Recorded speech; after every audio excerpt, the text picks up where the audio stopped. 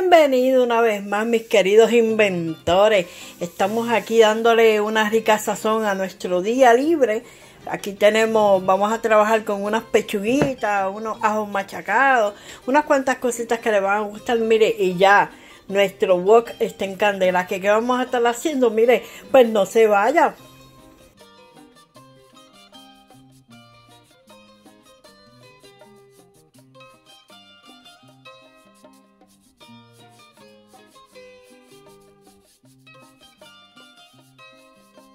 Callejón Melado y estoy aquí, mire, preparando la rica cena para pompear a todos los míos. ¿Y qué vamos a estar haciendo? Mire, vamos a estar trabajando con cuatro pechugas cortaditas en tirillitas, mire, de esta manera. Ya esta pechuguita ha sido adobada, puede utilizar sal, pimienta, yo utilicé un adobo.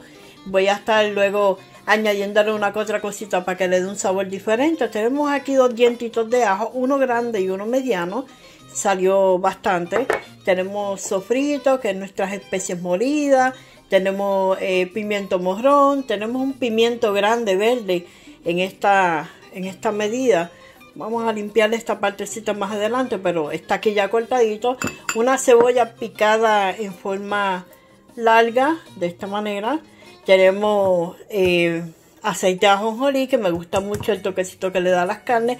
Tenemos salsa soya y otra que una que otra salsita que también vamos a estar añadiendo, ya nuestro huevo está caliente, y una cucharada de maicena eh, diluida en un poco de agua, digo diluida no tanto, sino en aguadita, porque todavía está como que, ah, sí, está diluida, Ey, yo hablando de más, ya nuestra salsita está ready, qué otra cosita le vamos a estar añadiendo, nuestro secreto, en lo que le dé ese caramelito al final, que es azúcar morena, vamos a estar añadiendo el azúcar morena a nuestra carne.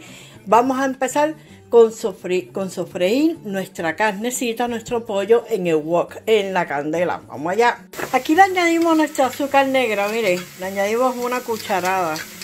Esto vamos a estar dándole mixi, mixi, mixi. Clac, clac, ¡Wow! Qué, qué, complicado! Este platito es, es, delicadito. No puedo dar el clap clap de mi nieta. El clap clap de mi nieta, eso es ya lo tradicional en mi canal. Ella me llama, me dice que está haciendo, eh, está haciendo lo... Suavecito, se me rompe. Es delicadito, vamos a ponerlo por aquí. Ella me llama, es mi nieta, Naila Camila ella me llama para decirme que está haciendo los, los cupcake pulpo y me dice, abuela, mire cómo yo lo hago, mixi, mixi, mixi, clap, clap, clap, y lo golpeaba contra la mesa. Y eso pues yo lo adopté, le dije, te lo voy a jobar. Mira cómo está haciendo ya nuestro pollito. Ya nuestro pollito está encandelando aquí. Ok, vamos a saltearlo para que bote esos jugos. Le añadimos, le añadimos dos cucharadas de sesame oil del aceite este de, ajonjolí. Le da un saborcito, un toquecito chévere. Vamos a esperar que se sofrían todas las partecitas. Para entonces añadir lo próximo. Vamos a, a continuar con esto, claro que sí. Le añadimos la cebolla, el pimiento, el sofrito, nuestro pimiento morrón. Le añadimos eh, la cebolla, pimiento, pimiento morrón, el ajo molido. Y tiene las, las vegetales que teníamos en la mesa. No le hemos añadido nada más. Ahora vamos a esperar que se sofríe y bote un poco esos jugos. Vamos a esperar la caramelización de esa cebollita. Mixi, mixi por ahí para abajo. No dejen de dar mixi, mixi que se les quema. A fuego mediano, seguimos en el mixi, mixi. Así está quedando nuestro pollito, ya está botando su juguito, eso es lo importante, que él vaya regocijándose en esta candela.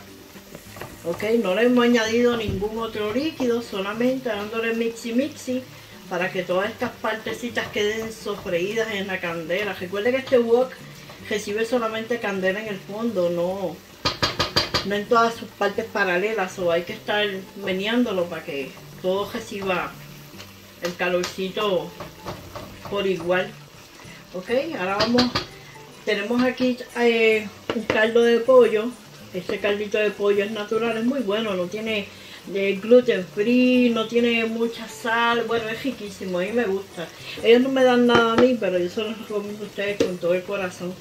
Aquí vamos a añadirle tres cuartos de taza en el momento que lo vayamos a necesitar. Por ahora vamos a seguir añadiendo sabores y velando que esos jugos no se nos, no se nos evaporen, porque son los que nos van a ayudar a, a que la carnecita quede blandita y, y al final espese.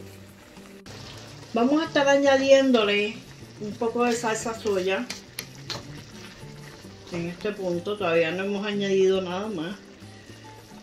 ¡Wow! ¡Qué rico, papá! Esto ya rapidito comienza a cambiar un poco de color. No del todo, porque yo no le he hecho mucho, solamente para que le dé ese toquecito chévere. Toquecito oriental. Y ahora vamos a añadirle nuestra azúcar morena, nuestra maicena y el agua. Ahora esto va a ser el trabajo que tiene que hacer. Y vamos a ver ese producto final, cómo es que va a quedar nuestro pollito. Ah, qué rico. Ok, vamos a ver cómo queda. Vamos a, dar, a echarle ahora el caldo de pollo para que vaya tomando y mezclando todos esos sabores. Ok, ahí añadimos tres cuartos de taza. Depende del jugo que dé. Recuerde que estos son cuatro pechugas bastante grandes, ¿ok?